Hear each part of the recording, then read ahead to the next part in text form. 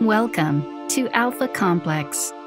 Alpha Complex is a vast bunker city built to protect the human race, that's you, from a world shaking disaster caused by Redacted until the planet is safe again. The computer is your Redacted. In this episode, our players learn about the world they're in and discover that everything is awful. The intent of the algorithmic culture programming is to explore the underlying experiences of a world increasingly defined by automation. We have brought together four incredible people exploring where technology and culture are going. We believe that play and improvisation are opportunities to resist the automation and homogenization of culture, and so we have put them in a game set in a future world where things have gone badly.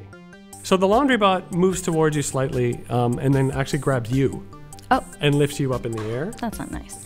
I'm gonna shoot him. I think he's well, obviously a traitor. I'm gonna do everything in my power to make this difficult for you, which is kind of exciting.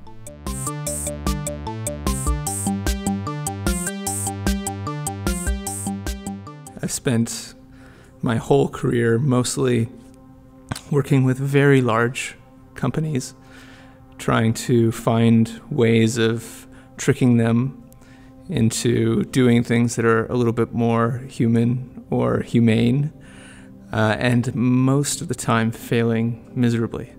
So I teach computer science students a little bit about social implications of their work and try to teach the philosophy students enough about AI to understand what's going on in that world. A lot of my work uh, relates to when it comes to when it comes to wearing the artist hat, um, just ideas of grief and trauma and how it relates back to community. I am an associate professor of ecological design for performance at York University, where I teach issues uh, and the research issues related to the intersection of sustainability, arts, and culture.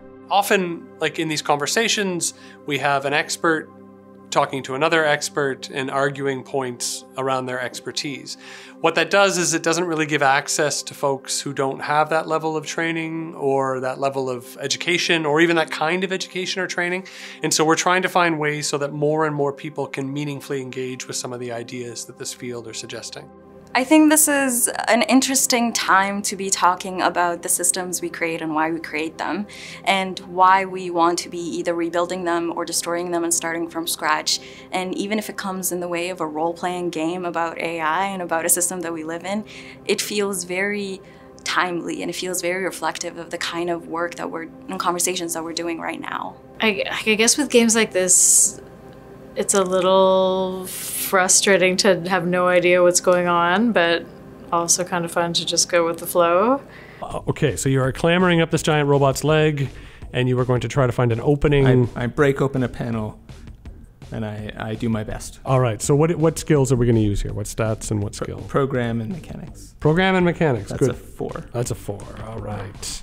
I mean, I think this uh, project has a has a really fun combination of, of themes coming from the game and Jerry's sort of thematic vision of the issues he wanted to deal with. In that it is, you know, all of these uh, dark and ominous and tense and dystopian ideas, but it's also absurd and playful and a little bit of, uh, you know, like a cheekily retro uh, spin to it. So that was really fun to bring to life. And your wounds, by the way, are not healed.